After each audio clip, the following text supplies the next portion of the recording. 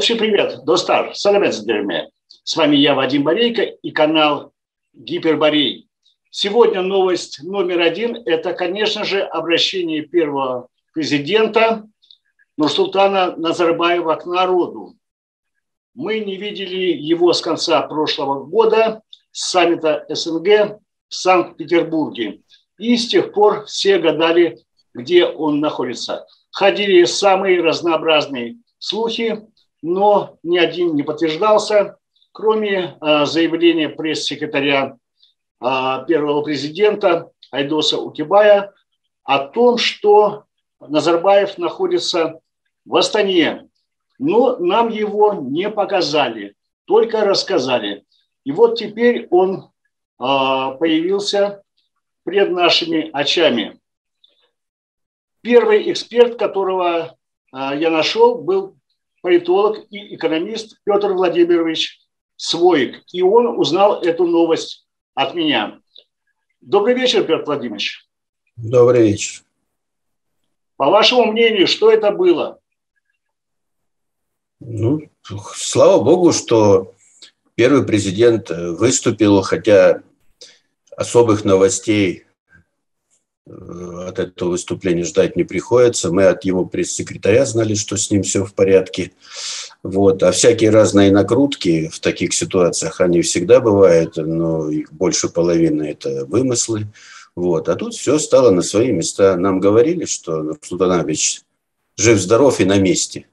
Понимаете, находится... извините, Владимирович, я не обязан верить а на слово. Если бы его показали рядом с президентом Тукаевым, ну, тогда я бы еще поверил. А то э, ни его не показали живого, как сегодня, не даже дали, э, не дали ему микрофон. С чем, как вы думаете, это было связано? Ну, пожалуйста, не верьте. Я просто Я журналист, вижу... я обязан сомневаться. Ну и сомневайтесь на здоровье.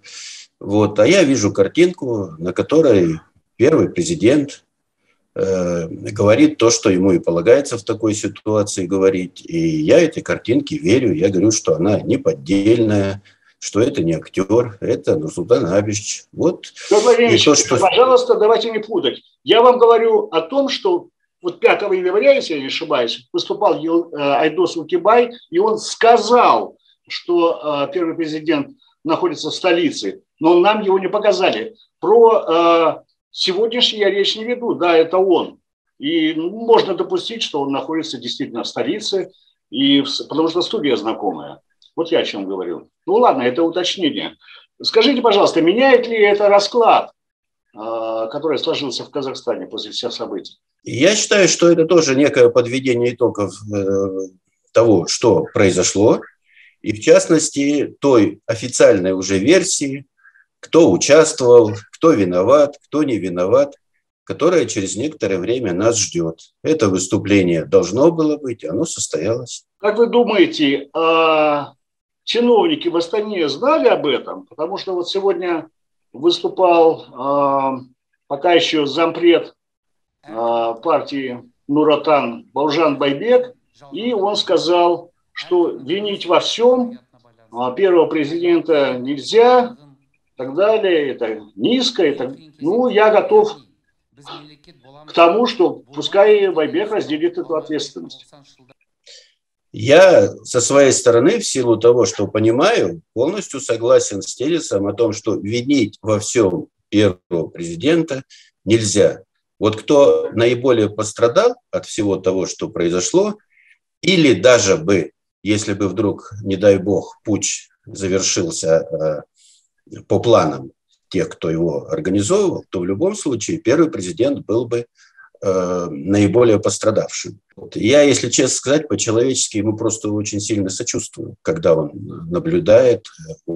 А то, что сама попытка путча была предпринята людьми недалекими от первого президента, из его, скажем так, окружения, это достаточно очевидно. Но ну, нам попозже какую-то официальную версию выдвинут. Вполне могу предположить, что главным виновником будет э, Карим Масимов, хотя он всегда был всего лишь исполнителем у него своего собственного политического места. Никогда не было, даже когда он должности занимал. Вот. Ну, Э, как будет согласовано, так и нам будет объявлено. И вот это выступление Нурсултана Абича – это уже этап согласования. То есть в определенной степени э, там уже распределили, кто за что должен отвечать или не должен отвечать. Кто должен в Казахстане оставаться, кто не должен оставаться, кто должен остаться на местах или кто должен покинуть свои места. Ну, кстати, места, скорее всего, покинут, если не сразу, то э, постепенно но все участники. Вот. Но повторяю, первый, не первый президент это организовывал, и э, можно там предполагать, насколько он был в курсе или совсем не был в курсе, но для него это и политическая, и личная, очень серьезная драма, и вряд ли мы должны его ставить в центр событий. Тем не менее, я бы заметил, что Нурсултан Назарбаев всегда был великим мастером интриги, ну, в этот раз а, интрига, по-моему, затянулась. 16 дней прошло с события, событий 2 января, когда начались митинги в Жанаузене. По-моему, это... Да, но... да пауза... Но... Да, но Султан Назарбаев всегда был великим мастером интриги. И здесь э, интрига, она вообще, наверное, самая крутая за всю историю Казахстана. И он далеко не единственный участник этой интриги. Он, пожалуй, главный пострадавший. Вот что точно, это он главный пострадавший от этой интриги.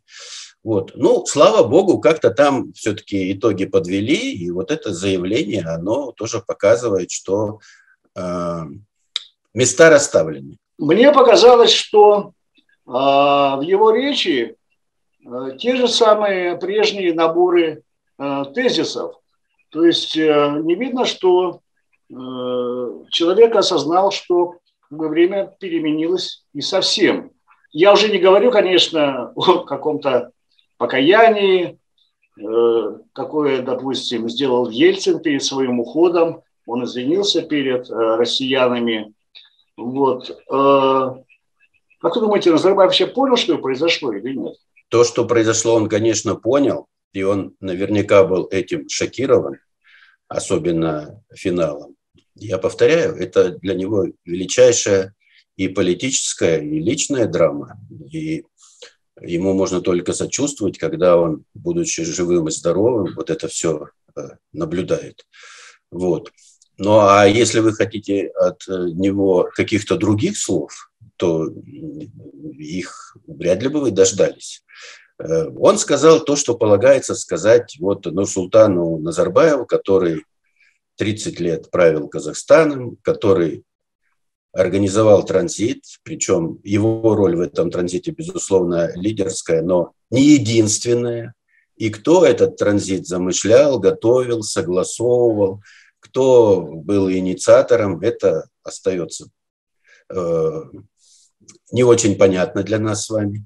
Вот. И, скорее всего, мы этого никогда не узнаем.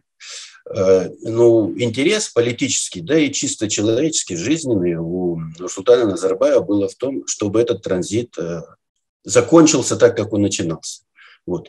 Все, э, он-то отходил, а его-то окружение оставалось. И вот окружение, конечно, по мере отхода первого, они очень сильно волновались, переживали и начали составлять какие-то свои планы которые, как я понимаю, вот разразились такой ужасной, ужасной драмой и для страны, и для них-то в первую очередь. Вот. Но еще раз повторяю, пострадавшим здесь является прежде всего первый президент Казахстана. На мой взгляд, гораздо более важнее а, то, будет ли присутствие физическое Назарбаева в Казахстане влиять на ситуацию в стране? Будет ли это важным фактором? Вот что точно уже состоялось, без вариантов, это то, что э, транзит закончился, и э, что политическая роль Нурсултана Абишича от этого дня, от этого выступления и далее, это быть пенсионером. Вот. При этом он вполне может остаться не просто в Казахстане, но и в городе своего имени. Он же столицей назвал этот город, не стал же его называть Нур-Султаном. Вот. и ему там все гарантии безопасности будут обеспечены. Вот. Никто ему официально никакого плохого слова не скажет. Да, и между нами говоря, это было бы очень правильно, если бы судьба первого президента была оформлена примерно как судьба Мао, политическая, историческая судьба. Вот сейчас в Пекине на площади Тяньаньмэнь сейчас и всегда висит портрет Мао. И это после э, можно сказать, катастрофы с попыткой большого скачка. Это после культурной революции. Тем не менее, Мао висит, и он на 30% ошибался, а на 70% он великий кормчий. Вот. И правильнее всего в Казахстане, вот пусть Масимов будет во всем виноват, пусть зятья, которые уже э, ушли с должностей, э, и все племянники тоже будут сильно виноватыми. Э, но никаких разборок с откручиванием голов и с перетряхиванием э, всего того, что было, и наизнанку, э, вряд ли стоит делать. Вы имеете в виду, что э, вот такой исход, он будет самый такой для Казахстана благоприятный, вот за, э, засахарить вот этот мир, да, и сильно его не расчесывать? Понимаете, какое дело? Вот э, э, наша экономика управляла семья, там, э, условно и впрямую. Вот. Причем управляла э, экономикой, ну, такого вывозного характера, это компрадорская экономика, и э, там семья была аффилирована с иностранным экспортно-сырьевым бизнесом, с системой Э, иностранных инвестиций, системой внешнего, а не национального кредитования. Эта система вымывала из страны э, больше, больше, чем мы зарабатывали на экспорте. Но говорить о том, что они злодеи, плохие люди, и что они могли бы сделать по-другому, не приходится. Э, и первый президент, и всех, кого он вставлял в эту систему, а понятно, что родственников он вставлял в первую очередь, Эм, они приспосабливались, они вписывались в тот вмещающий ландшафт, который формировался со второй половины 90-х, потом все нулевые годы, ну и так далее, и так далее. Вот. Они не только эм, акторы и бенефициары такой системы, но они ее в какой-то степени э, вот сейчас выясняются, и жертвы, потому что она же их сейчас и выводит.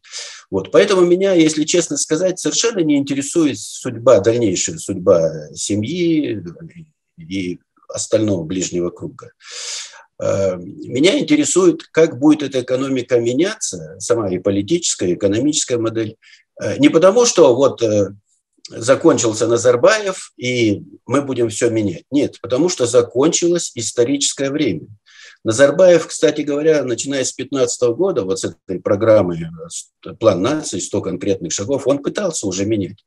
У него ничего не получилось, и, возможно, это был тоже один из поводов, что давай-ка э, начнем транзит. Вот.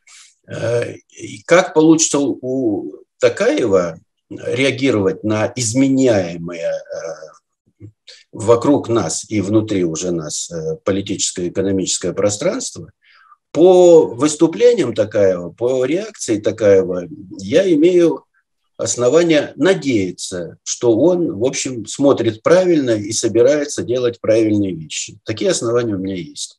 Вот. Но уверенности, что у него все получится, пока нет. Поэтому еще раз повторяю, надо как можно, это мой взгляд, как можно скорее закончить этот ужасный, э, ужасный январский э, эпизод, вот, который на самом деле был поворотным, ключевым э, э, и все такое. И как можно скорее, в конце концов, даже и э, ориентируясь на то, что нам и Назарбаев сегодня сказал, типа, давайте консолидироваться, давайте э, выстраивать новую страну. Это же слова, они немножко вынужденные, но они же правильные, это слова. Вот. И надо смотреть вперед. А то, что страница перевернута, ну и хорошо, что она перевернута. Вот э, здесь мы с вами, Петр Владимирович, э, расходимся кардинально, принципиально. Если сейчас перевернуть эту страницу, то потом она назад сама перевернется. И вот то, что вы сказали о э, семье, что э, вам не интересно, что там э, с ним будет, мне наоборот интересно. И э, дальнейшее персональное их, ну это, так сказать, может быть, можно назвать праздным журналистским интересом. А самое главное – возвращение этого добра в страну. Вот. Во-первых, это э, огромные деньги, которые ну, не помешали бы, конечно, стране. Э, вот. И сейчас я знаю, что в Британии э, идут большие движения, э, и есть список Chatham House, где перечислены на двух страницах граждане Казахстана, которые обладают недвигой а, в Лондоне и других городах Великобритании. Вот. Так что мы тут давайте с вами зафиксируем разногласия. Такой вопрос немножко назад вот к этой интриге. А, она создавала впечатление некоего закулисного торга. Как вы думаете, это был торг между двумя, Назарбаевым и Токаевым, либо там был третий, Владимир Владимирович Путин? Давайте сначала вернемся к фиксации разногласий. Да. Э, значит, на мой взгляд, гораздо важнее, хотя надо бы, конечно, и эти деньги вернуть, но гораздо важнее э, так поменять саму систему, чтобы вот эта компрадорская вывозная экономика перестала быть такой. И еще до всех этих событий, э, еще достаточно давно я настойчиво провожу мысль, что нужна национализация внешней экономической деятельности. Вот. А кому хочется разбираться конкретно с деньгами семьи, это флаг в руки, это тоже очень полезное дело, и, и я нисколько не против. Но для меня гораздо важнее национализация внешней экономической деятельности как таковой. А что касается подведения итогов, то, разумеется, там есть третий, а может быть, его лучше назвать первым. Это, как вы правильно сказали, Владимир Владимирович Путин. Э, разумеется, арбитром во всей этой ситуации, и когда она разгоралась только, и, и сейчас э, является названный вами э, президент России. Я уверен, что именно он является ну, ну вот именно арбитром для определения того, что же это было и что же дальше будет. А, вот еще вопрос. А, очевидно, э, первому президенту и членам его семьи были даны гарантии безопасности. А, как вы думаете, были ли даны гарантии безопасности их активов? Я думаю, что э, главные консультации на предмет транзита, когда его начинать и кто будет э, вторым президентом, они э, проходили не в Лондоне, а, или вернее так, не с участием Лондона, а, а Лондон – это столица активов, туда вывозилось все, вот, а с участием Москвы. Наверное, не только Москвы, но Москва точно участвовала в этих консультациях. Вот.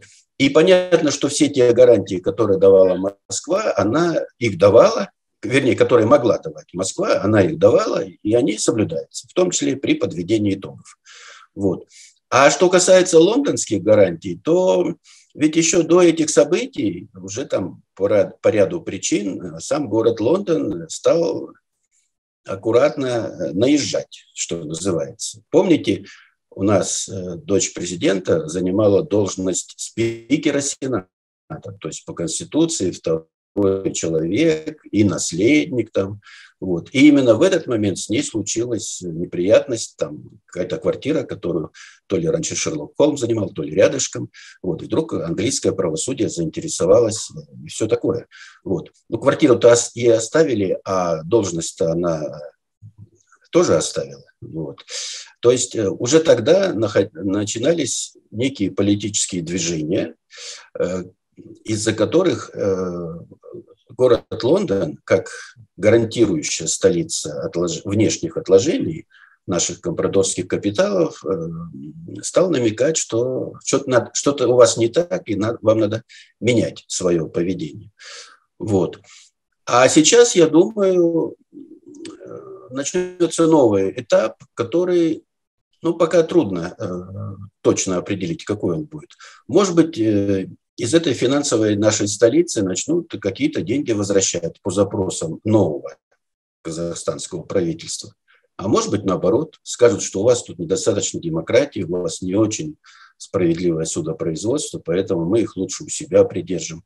Могут быть и такие другие варианты, потому что что там в самом английском правительстве будет происходить, э, там же тоже многие интересные процессы, и Казахстан там далеко не главный и не единственный э, объект, на который они там обращают внимание. Петр Владимирович, я просто вам, может быть, вы не знаете, и зрителям поясню детали вот э, этого процесса в Лондоне, который а, завершился а, в апреле 2002 года тем, что иск Serious Fraud Office, это управление по борьбе с мошенничеством Великобритании, он был отклонен, и э, Дригу Назарбаеву оправдали.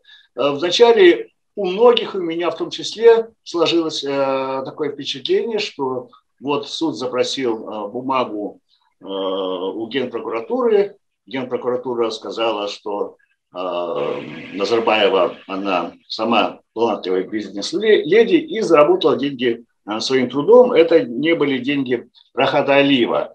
Затем я поглубже изучил вопрос, и оказалось, что просто иск был очень слабым, и э, его отклонили по процедурным соображениям исключительно. Вы знаете, как на Западе важны все эти крючки, и это в принципе, правильно.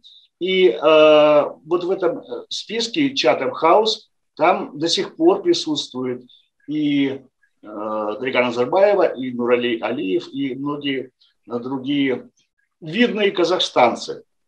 Следующий вопрос у меня такой. Э, меня немножко в, в этом январе смущает, что э, различные шаги действуют, э, э, предпринимаются без юридического оформления. Вот как, допустим, э, Касым-Жумар Тукаев получил пост председателя Совета Безопасности. Вот у меня полное ощущение, что он пришел в библиотеку и там корочку нашел, да, потом, которая на полу валялась, а первый президент ее случайно обронил. Не, не было указа, может быть, я ошибаюсь, вы меня поправьте. А потом устно сказал Назарбаев, что он ему передал. Ну, передал, ну, это оформите как-то юридически. А, вас вот это вот не смущает, Петр Владимирович? Тут как раз э, юридическая часть объективно уступала, ну, скажем так, оперативной и политической. Причем э, смущает это или не смущает, там, конечно, юридическая э, уступала, но Э, необходимость требовала именно такого поведения. Ну, смотрите, у нас есть конституция, по которой президент – глава государства, и он все органы формирует, в том числе и Совет Безопасности, там это все написано. Но у нас есть и закон о первом президенте конституционного уровня, в котором первый президент является пожизненным членом, э, председателем э, Совета Безопасности. И пока все было нормально, никакой конституционной коллизии.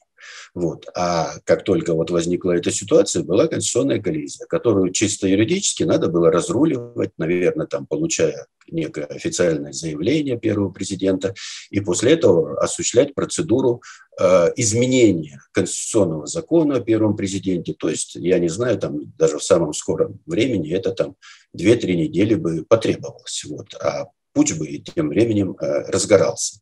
Вот. То есть юристы были бы довольны, но вряд ли бы это сработало.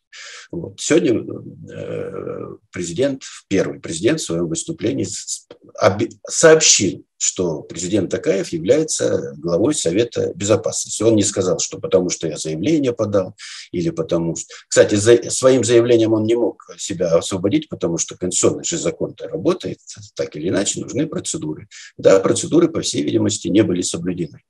Вот.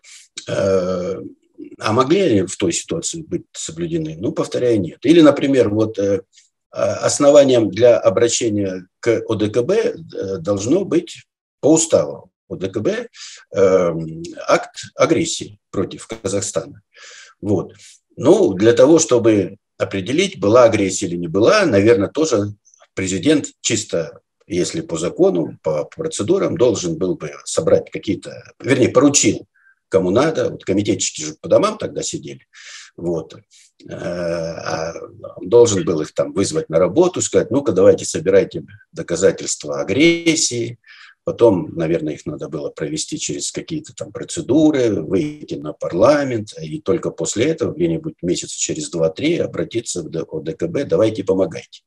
Вот. Президент, получив сведения, э, принял политическое решение в рамках своей ответственности как глава государства и обратился в ОДКБ своевременно. Кто будет ловить там какие-то юридические огрехи? Наверное, они там есть. Политические и конституционно, в конце концов, президент Такаев поступил, на мой взгляд, абсолютно правильно и своевременно. Вот. Ну, а теперь нам с вами, наверное, начнут уже так по истечению этих событий рассказывать и о том, кто там участвовал, в том числе с, с внешней, э, из внешних игроков. Петр Владимирович, кстати говоря, грамотные комментаторы, которые поумнее и пообразованнее, чем я, они писали, что в уставе ОДКБ, кроме международной агрессии, достаточно поводов, чтобы и без нее пригласить э, силы э, членов этой организации. А, я, вот почему все так упорно настаивали, что именно была международная агрессия. Вы же видели, а, что это были ну, ряженые какие-то, что эм, даже я факт нашел, когда боец э, спецназа демонстрировал на камеру паспорт раскрытый, казахстанский. Там была виза индийская, виза индийская была, да, и он выдавал это за иностранный паспорт, да. И я уж не да, помню. я это видел, это хорошая журналистская работа.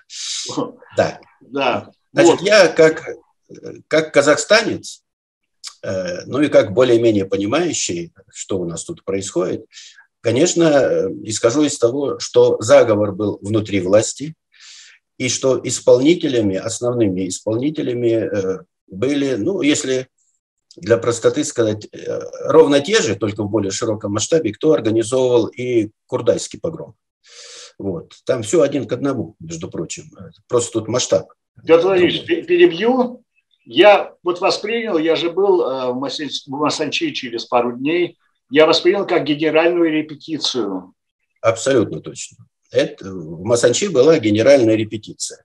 Ну, я думаю, что тогда Э, никто не думал, что э, они это все повторяют в Алмате.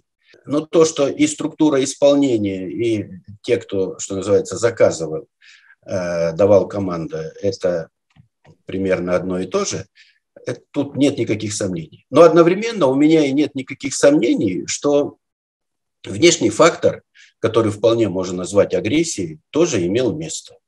Вот совершенно нет никаких сомнений. И это даже не, не по поводу того, что вот этого парня, которого вы разоблачили, а, наверное, были и другие, действительно иностранцы. Там не обязательно с иностранными паспортами, может быть, но то, что ребята были завезенные, подключенные, это у меня нет никаких сомнений. И более того, коль скоро финансовой столицей Казахстана является город Лондон, и э, семейные ближнего круга капиталы концентрировались там.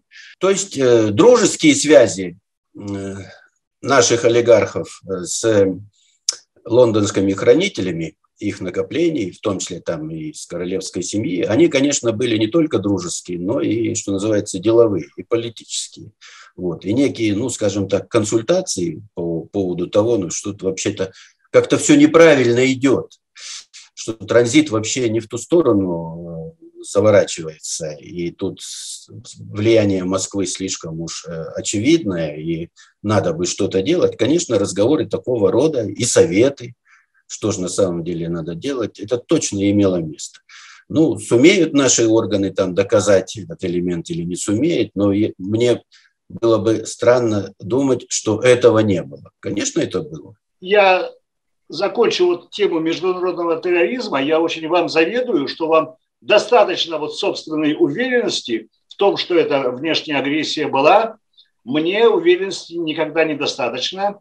Мне нужны всегда факты и доказательства. И я тут еще вспомню а, выступление начальника департамента полиции Алматы Таймирденова, который говорил, что а вот террористы вывезли из морга 41 труп своих, значит, однополчан. Они что там, все друг друга знали? Они там ходили, их опознавали. Вот. И опять же, он ничего не показал. Вот. Я отказываюсь верить на слово вообще э, кому-либо. Давайте ну, Это ваша журналистская да. работа, долг.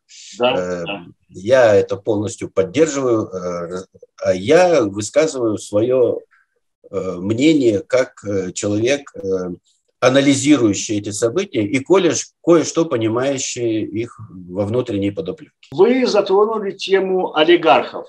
А, после отставки, а, после отправления в отставку Дариги Назарбаевой а, в начале мая 2020 года, по-моему, это было второе число, мы с вами также писали интервью. И вы сделали прогноз, что Токаев вступит конфликт с олигархами до конца этого года. Этого, значит, 20, 2020 года.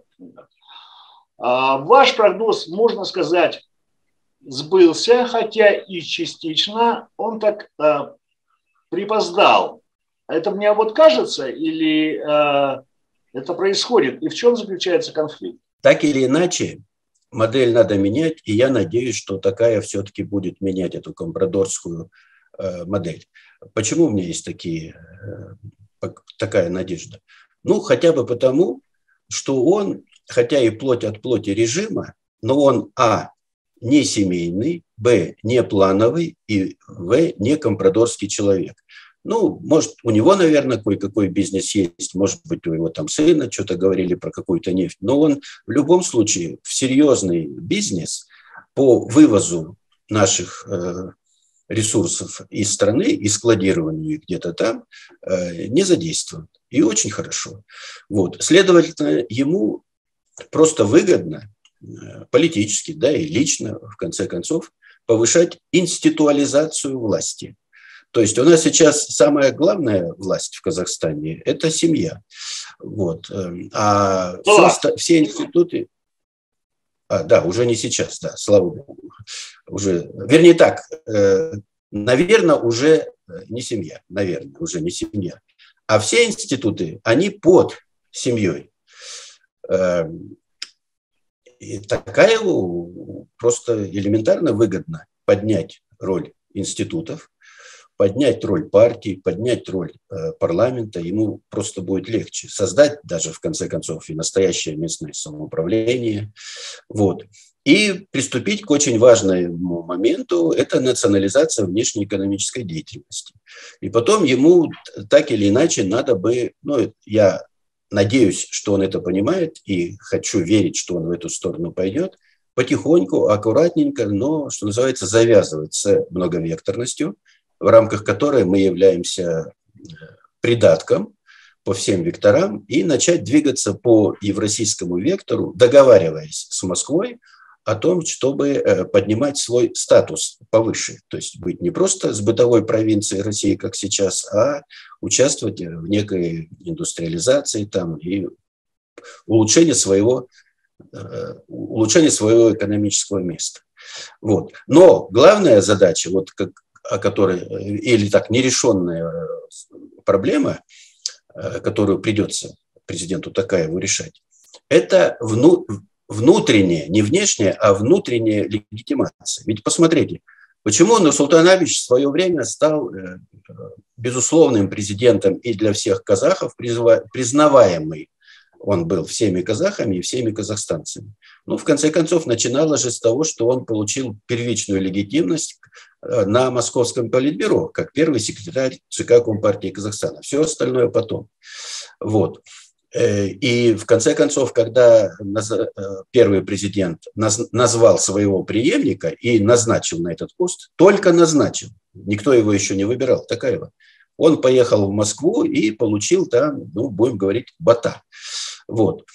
А А вот представим себе, что в Казахстане начинаются реально конкурентные и с честным подсчетом голосов выборы президента. Причем ситуация такова, что не какие-то там люди, которые слезли с дерева и пошли регистрироваться, а серьезные претенденты от очень серьезных казахских кланов, от очень серьезных финансово-промышленных групп, по-разному ориентированных, в том числе и внешним образом, начнут выставлять своих людей.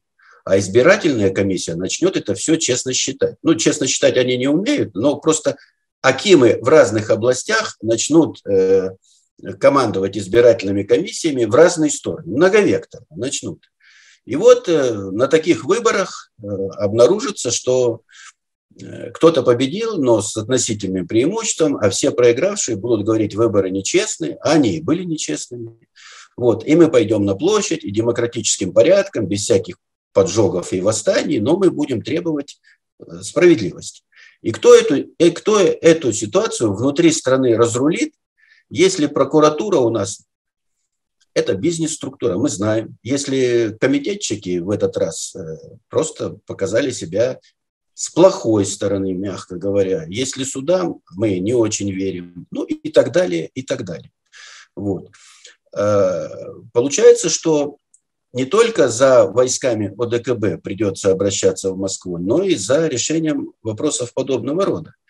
Вот. А как мы должны ведь если мы хотим добиваться лучшего своего места в Евразийском Союзе, то мы же должны прежде всего продемонстрировать свою собственную устойчивость, упругость и способность там не только просить, но и требовать, когда надо. Вот. Следовательно, мы должны менять не только компрадорскую многовекторную экономику, но мы должны и политическую систему выстраивать каким-то таким образом, чтобы мы сами выбирали себе и президентов, и депутатов, и без внешнего участия. Вот. И этот вопрос перед Такаевым еще стоит на полную катушку. Ну, вернее, его очень легко решать. Когда подойдут очередные э, выборы, а это будут перевыборы президента Такаева, он, он продолжит, безусловно, но если там здоровье будет нормально, он, безусловно, будет э, и на второй срок пойдет, и, и без вопросов выиграет эти выборы. Но опять же, это будет с гласным или негласным, но участием Москвы, которая объяснит, кому надо, что вы лучше не выставляйтесь, потому что мы и так и без вас знаем, кто должен э, управлять Казахстаном. Вот этот вопрос внутреннего э, способности э, нам самим поддерживать свою собственную политическую систему, он пока висит. Мы с вами перспективы Казахстана, я полагаю, можем обсуждать чуть более чем сутки подряд. Но мы утомим наших зрителей. Поэтому э, я предлагаю, мы движемся к завершению беседы, все-таки обсудить э, вопросы, вот, э, которые происходят в моменте. Э, я небольшую ремарку к вашему предыдущему ответу насчет э, юридического оформления вот всех этих шагов. Петр Владимирович, мы знаем прекрасно, что такое революционная целесообразность. Да? Это такая засада, которая превращается в привычку, и все делается вот так. Как бы вот надо, надо, вот сегодня это целесообразно, а иначе завтра будет поздно, и все. Так вот, что меня сегодня э, смущает, назову я вам э, пару вопросов. Вот фонд народу Казахстана, да, а, сейчас, это что такое? Это Э, котел, куда должны а, откэшиваться вот кошельки а, бывшие первого президента? Ну, прежде всего это. И с точки зрения там, текущего политического момента, идея правильная, даже красивая, но эм, она тупиковая, по большому счету, потому что э, раскулачивание – это разовый акт, вот. Эм, сейчас, когда уже подведены все итоги, и когда определены, кто там виноват, кто полувиноват, а кто вообще не виноват, то вот какую-то денежку соберут. Эм, это со списка Forbes соберут. Кто-то добровольно принесет, но все равно они же не будут говорить, что до 2050 года мы теперь будем э, регулярно в этот фонд там ежемесячно отсчитывать. Такого не будет. Вот. Что касается бизнеса, то бизнес, ну там поменяют руководителей, а бизнес ты на постоянную основу доить не сможешь. Э, у них свои там налоговые обязательства, у них куча внешних долгов, которые они должны обслуживать. То есть э, грузить их еще и вот постоянными отчислениями в этот фонд. Но я говорю про семейный бизнес.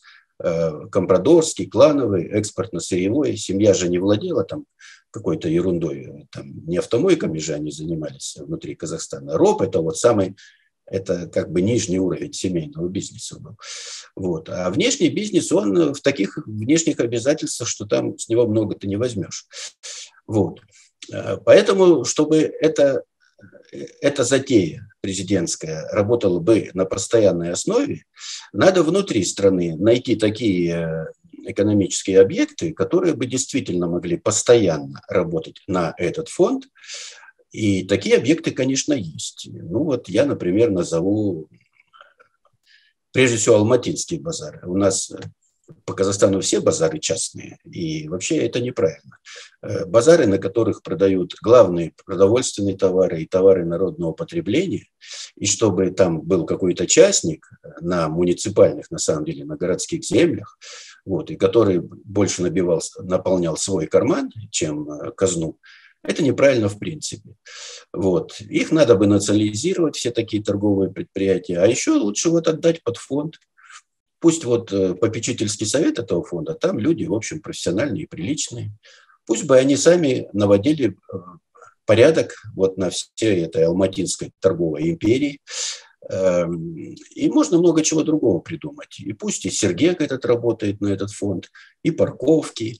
Э, да, кучу можно набрать таких э, бизнесов, которые используют государственный ресурс, который собирает деньги с огромного числа пользователей, а потом все это идет в карман. Так вот, пусть это будет карман фонда. Вот. Ну, понятно, что это не попечители сами придумают. Это тоже должно быть политическое решение. А наше дело подсказывать, как правильно это все осуществить. Георгий Владимирович, я не буду оценивать э, вот эти ваши идеи, Э, которые так отдают социализму, пусть этим займутся комментаторы. У нас не дебаты, у нас интервью.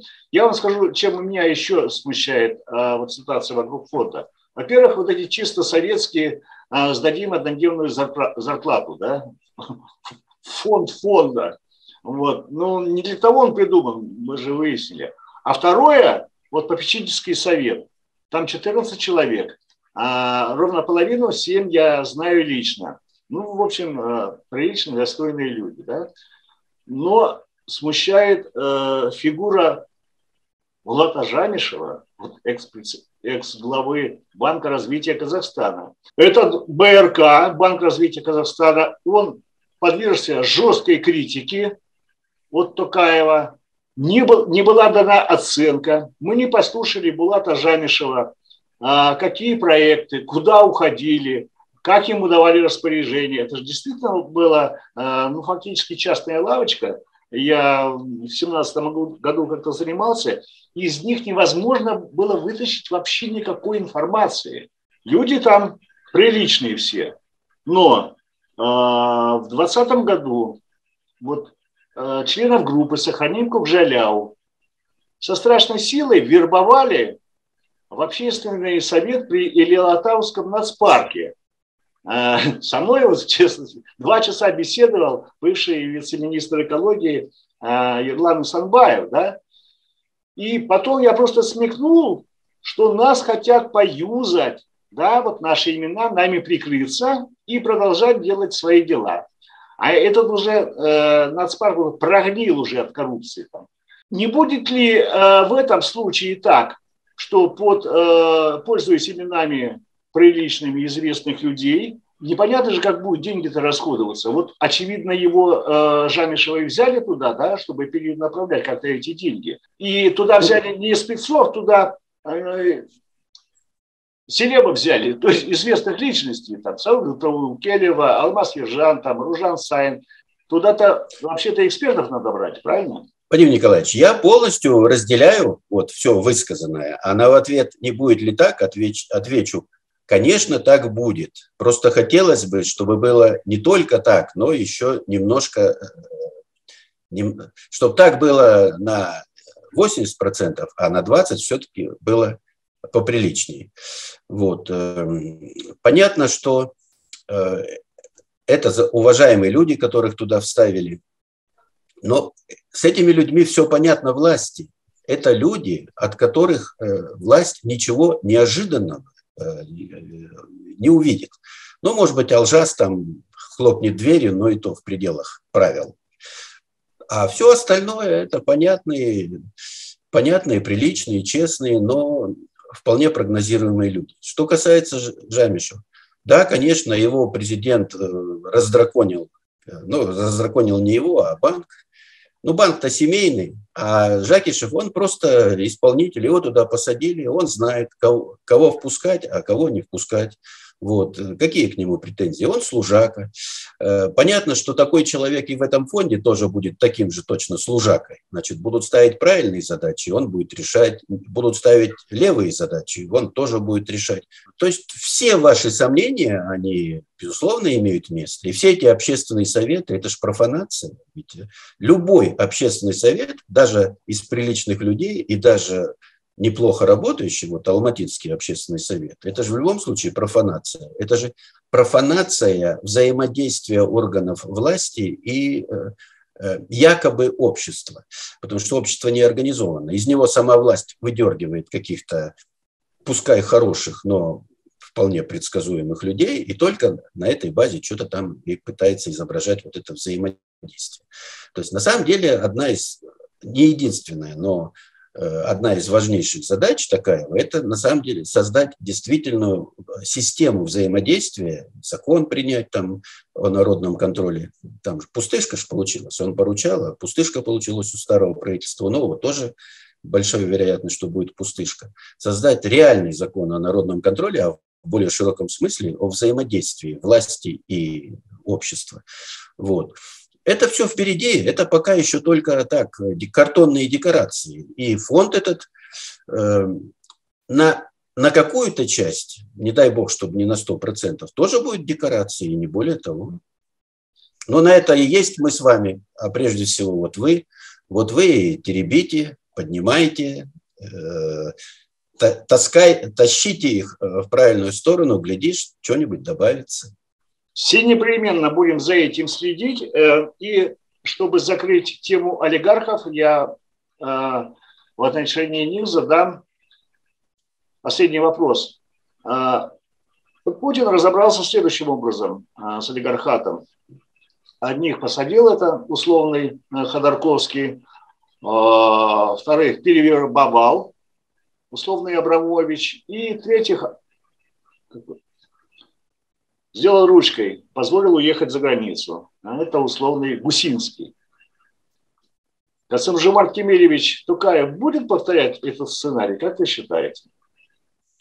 Ну, конечно, потому что ломать систему сразу и превращать ее в совсем другую и гораздо более правильную, оно в любом случае не получится, это нереально. Вот. А насколько он будет просто менять семейный бизнес на какой-то другой, и насколько он будет все-таки институализировать политическую систему и работать не на вывозной, вернее так, выстраивать э, всю экономику не на вывозной интерес, а на интерес собственного национального развития, вот, ну, дай бог, чтобы у него получалось это хотя бы там на 10, на 15 процентов, и тоже э, неплохо. У Путина же тоже вполне хорошо, достаточно убедительно, впечатляюще получается – при том, что он опирается не только на государственные институты, но и на то, э, что называют там друзья Путина, вот, э, ловят э, этих друзей на, на излишнем обогащении и так далее, и так далее. Тут есть и правильные моменты, есть и чисто политическая борьба, геополитическая борьба. Вот. И надо нам просто пожелать президенту Такаеву, чтобы он не выстраивая э, невыполнимых схем, все-таки все реалии двигал в правильную сторону. Вот такой серьезный вопрос. Фонд Самрук Казана, президент Токаев э, настаивает на его как можно более ускоренной приватизации. А кто инвесторы? Мы же привыкли что, э, к тому, что у нас основной торговый партнер вообще маленькая страна Нидерланды, которая является большим офшором. И что инвесторы, вернее те, э, кто выдает себя за инвесторов, э, мы всегда там видим знакомый родной прищур. Э, то есть это казахстанцы, которые либо с офшоров, либо с полуофшоров, как Сингапур, да, либо с Эмиратов.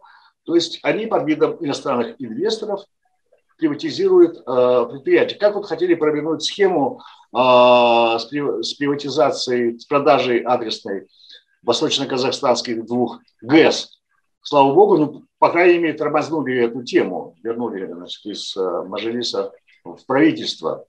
Расскажу свою версию. На мой взгляд, вот эту тему сейчас постараются пресечь, но у нас же нет нормальных инвесторов, которые работают на, допустим, э, ну вот Гленкор, Касцин, да, или на месторождениях американских и китайских компаний. А на всех не допасешься, потому что мы знаем э, цену этим сказкам про благоприятный инвестиционный климат. Моя версия такая, что э, за э, вот эти куски Самрук Казана пойдет борьба, либо будет договор о разделе между Россией и Китаем и что вот Евросоюз, Штаты так сильно не подпустят. Ну, в целом примерно так. Другой вопрос, что э, это будет более внутренняя борьба. Тут ни Китай, ни Россия особо здесь э, ничего э, не получат. Я бы хотел кое-что уточнить. Значит, вот э, тема приватизации и тема будущего фонда Самрук Казана, они разные. Ну, там выступления президента, давай их мы давайте мы их разведем. То есть последний раз вот президент на последнем, э, при презентации нового премьера в парламенте, он поставил вопрос о том, нужна ли такая, если ее нельзя реформировать, то нужна ли такая структура э, вообще. А тема о том, что надо квазигоссобственность приватизировать, довести степень участия государства до 15%, а сейчас 60, вот сам такая уже в этом же выступлении сказал, что ВВП 60%. Это несколько, она связанная, но это несколько другая тема. Вот по этим поводам я что скажу. Ну, пункт первый. Тут вы, конечно, сразу же категорически не согласитесь. Вот тут уж мы действительно думаем по-разному. Но доведение степени участия государства до 15% – это диверсия. Это прямая диверсия. И от этого надо как можно скорее отказываться. Что такое Самрук Казана? Это инфраструктура. Вот. И приватизировать э, и государству отказываться от инфраструктуры. Самрук Казана, да, обслуживает экспортно-сырьевой бизнес, вывозной бизнес обслуживает. Но Самрук Казана в самом вывозном экспортно-сырьевом бизнесе участвует чуть-чуть. Казатомпром, и то там половина сырьевого экспорта – это уже испышки иностранные, многовекторные испышки иностранные. Вот. Но немножко там нефти, газа, чуть-чуть экспортируют. Остальное – это энергетика, это транспорт, железнодорожный, трубопроводный, это связь, почта, Э, и, и так далее, и так далее. То есть это национальная инфраструктура. Да, она обслуживает э, вывозную экономику, но она в не меньшей степени обслуживает и саму страну, и все население. В вывозной-то экономике меньше половины населения участвует, остальные живут за пределами вот этого акционерного, закрытого акционерного общества, вывозное государство Казахстан. И им, э, этой внештатной части населения, инфраструктура абсолютно необходима. И, а что такое приватизация этой инфраструктуры, даже из самых хороших соображений? Это значит превращение инфраструктуры в источник извлечения частной прибыли. Вот. Что, на мой взгляд, категорически недопустимо. Вот вы же тоже, хоть и либерал, но вы же тоже против приватизации электростанции, вот этой вот Шульбицкой, Усть-Каменогорской. И правильно против, тут мы полностью едины потому что приватизация – это превращение этих электростанций в, кар, в кормушку. Ну, может быть, плохое слово, но просто источник обогащения кого-то. Не страны, а обогащения. Хорошее слово, хорошее. Соответствующей накруткой тарифа. Потому что ведь вся электроэнергетика, она на государственном назначении тарифов. Там правильно или неправильно, но это государство назначает тарифы. Значит, если государство продает какую-то электростанцию, оно продает не электростанцию, она, оно продает тариф. эм, сколько стоит Усть-Каменогорская ГЭС, будет определяться полностью тем, какой у нее тариф. Она может стоить э, одну теньгушку, если тариф нехороший, и она может стоить миллиард долларов, если ей зарядить.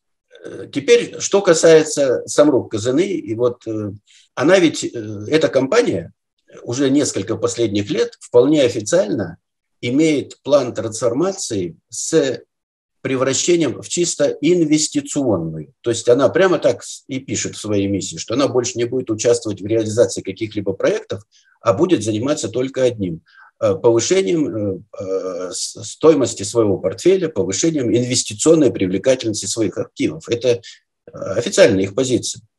А у них долгов внешних больше 20 миллиардов. То есть вся их инвестиционная ценность состоит в том, что они в долгах. И надо, конечно, решать, вот когда я говорю об национализации внешнеэкономической деятельности, конечно, надо решать вопрос о создании в самом Казахстане, а, национального кредита, его нет. Национальный банк не кредитует банки второго уровня. Он их поддерживает там ликвидностью на одну ночь. Это как евнух в гареме. А длинных, нормальных денег для развития экономики Национальный банк нам вообще не дает. Вот. И у нас нет э, национальной инвестиционной базы. У нас уровень иностранных, э, э, уровень инвестиций в основной капитал вообще недостаточен. Но три четверти этих инвестиций, они иностранные и входят в известно что. Это, это, сырье, это нефтедобыча, это металлургия, это трубопроводы, это немножко финансовый сектор, и это, внимание, геологоразведка. Огромные деньги идут в геологоразведку, и понятно почему. А вот сельское хозяйство не идет ничего, ну и так, понятно же, да? Так вот, почему я говорю, что и Россия, даже Китай уже тут, сюда не войдут? А потому что все, что работает в Казахстане на внешний рынок с хорошей рентабельностью, нефть, газ, черная, цветная металлургия, уран и так далее, там инвесторы уже зашли, иностранные инвесторы зашли. Весь план 2015 э, э, года, 100 конкретных шагов, он же на что нанизан? На привлечение иностранных инвесторов. В сельское хозяйство, в переработку, в машиностроение, в химию. Подними этот план. Там э, все ключевые шаги – это вот привлечение якорных инвесторов. Никто не привлекся, потому что все уже здесь. Вот. А такого чудака иностранного, который начнет э, э, приватизировать, там, э, заходить, например, в сельское хозяйство, ты во всем мире не найдешь. Другой вопрос, что найдутся чудаки, которые зайдут в электроэнергетику и с большим удовольствием зайдут. Вот пример мамин мотался в Эмираты и привез меморандум с этими с арабами. Петр Владимирович, вы сейчас сядете на любимого конька энергетику, и мы не закончим никогда. К сожалению, я вынужден э, завершать беседу, потому что мы уже говорим э, очень много времени. Огромное вам спасибо за то, что э, откликнулись мгновенно на мою просьбу мы с вами неплохо поговорили. Мне с вами всегда интересно, потому что мы часто занимаем разные позиции. А это э, тем более увлекательна беседа. А, уважаемые зрители, а вы подписывайтесь на канал, нажимайте на колокольчик, будете под 100 пудов получать уведомления о наших новых выпусках. Их в январе, я уже сбился со счету, сколько было, это, по-моему, 12 или 13 мы стараемся выходить э, каждый, почти каждый день, несмотря на шестидневную блокировку. И вы видели, что появилось 100 тысяч подписчиков, с чем я прежде всего вот вас всех а, поздравляю. А, пишите комменты, ставьте лайки, делитесь ссылкой на это видео а, в своих социальных сетях, чатах и мессенджерах. Берегите своих близких – а уж потом подумайте, ну, может быть и донаты. Потому что вот донаты, несмотря на то, что я не просил, вы мне регулярно их э, пересылаете, и это э, нам дает возможность выходить так часто. На этом я с вами прощаюсь. Свободно старт.